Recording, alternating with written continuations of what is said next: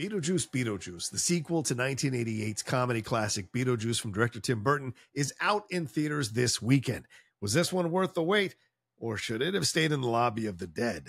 I'm going to let you know right after this.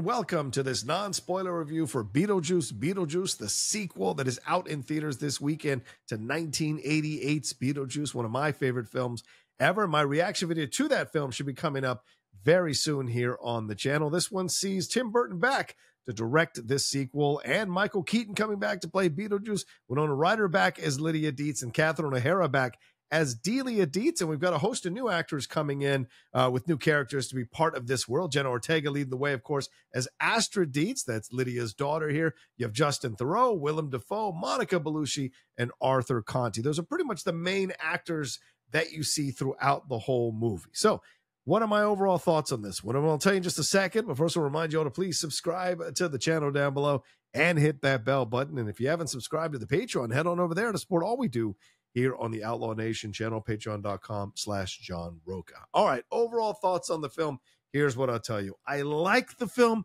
I didn't love the film. It's not as good as the classic 1988 film. It gets a bit overstuffed there, especially in the middle when you're following all these different storylines. It becomes way too complex. I think they overthought the script way too much. Instead of streamlining it and making it really simple, they try to do too much just so you can see all of these characters doing the things that they're doing in their subplots that take away, honestly, from the main overall storyline of the movie. That being said, I do enjoy being back in this world. Tim Burton is letting his freak flag fly in a way that we haven't seen in quite some time. It doesn't all work, but it's certainly a lot of fun to watch a creative genius get back to his roots and do the things that he does and create the imagery and the feelings and the vibes that you want to see from someone as incredibly talented as Tim Burton. And there are a lot of funny moments in the movie. It wasn't like I was bored or wasn't entertained. Certainly, I enjoyed a majority of the time that it was in the theater. I did enjoy a lot of the moments with Michael Keaton, who hasn't missed a beat as Beetlejuice. In fact, by the end of the movie, I wanted more. If people forget the first movie, he wasn't in it that much. Going clock how much screen time Michael Keaton has as Beetlejuice in that movie. He does a lot with a little. And I think the same thing here, except I even wanted more to see more of him in this movie. Winona Ryder hasn't missed a beat either as Lydia Deetz. I think some of you are going to like what they did with her, and some of you are going to be really upset with what they did with her. So it's going to be divisive, the choices they made with Lydia Deetz and the, what she's going through. is essentially a crisis of confidence. She's kind of lost her way a little bit. She had a relationship that didn't work out, or for a number of reasons. I don't want to spoil anything. And she's got her daughter here in Deetz here that Jen Ortega plays, and she's trying to navigate her world again after a tragedy, which I think most of you have guessed. And Delia Deetz, Catherine O'Hara, back in his in her life. And Catherine O'Hara is fantastic. I mean, she's next level now. I mean, honestly, I've been watching her since the 1980s.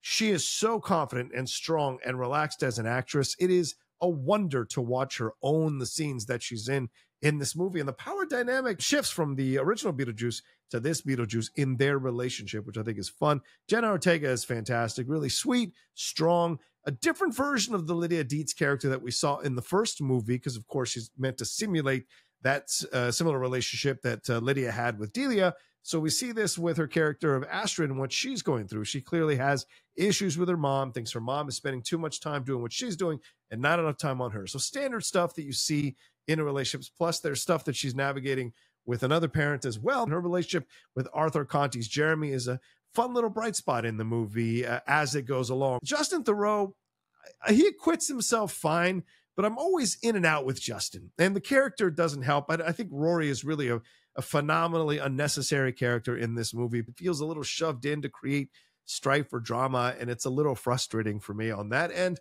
Willem Dafoe is great as Wolf Jackson. Did we even need that storyline? I have to say that we don't, but I liked him in the role. He's so much fun. The way he delivers the lines, all these things are a real joy to experience with Willem, who still has it, still has that energy and that spark, and you love to see it in the film. Now, as for Monica Bellucci's character, Dolores, she's playing the ex wife of Beetlejuice, as you saw in the trailer, and she's certainly going after him to try to uh, repair what happened there. And uh, the the sequence where you find out how they came to be as a couple, I think is one of the most intelligent and brilliant moments of the movie, showing Tim Burton taking an out of the box chance with telling this story that I thought worked so well, especially for those of you who are massive horror fans. The clip is out there on YouTube for y'all to watch if you want to watch it ahead of time. But if you don't, you're going to enjoy it in the movie when it pops up. But do I think it was necessary? I have to say again, I don't. And so this is where I'm getting to is that there's a lot of these extra storylines that were so unnecessary when the main storyline is pretty simple.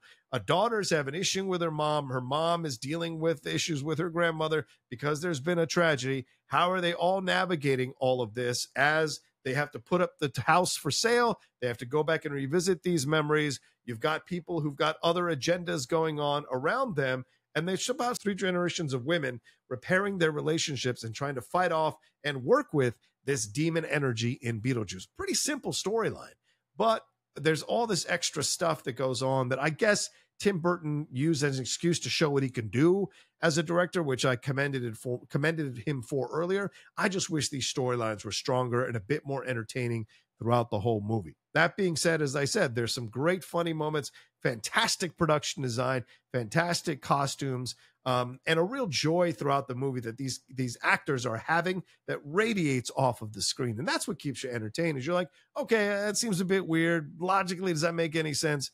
No, but look, they're having such a good time and I'm feeling that energy. So I'm going along with it. And I think that's essentially how I feel about Beetlejuice. Beetlejuice. It's a fine film, but you're going to enjoy yourself if you're a fan of Beetlejuice. And if you're a Tim Burton fan, this one is absolutely going to scratch your itch because you're going to get to see the work of Tim Burton throughout. So I give it three cowboy hats out of five cowboy hats. I'll be kind and generous on this. It wasn't like I wasn't entertained, but there were certain things that just kind of got on my nerves a little bit, storyline wise and logic wise, that kind of kept me from really loving the film fully. And there's an end sequence that I think drags on for way too long. Well, if you go see it this weekend, let me know what you thought about Beetlejuice, Beetlejuice down in the comment section below. Did you like it? Did you not like it? Did it work for you? Did it not work for you? Did you feel the magic again with Michael Keaton, who kicks all kinds of ass throughout the whole movie? Or or do you feel like me that it was a bit overstuffed and you didn't understand the logic of all these extra storylines when really it's a pretty simple storyline just like the first movie you could have just gone down that road and knocked it out of the park as well let me know down in the comment section below thanks for watching this non-spoiler review and i'll talk to you next time with another review here on the Outlaw Nation. Thanks so much for watching this video. Please make sure to like, comment, share, and subscribe for more content from the Outlaw Nation.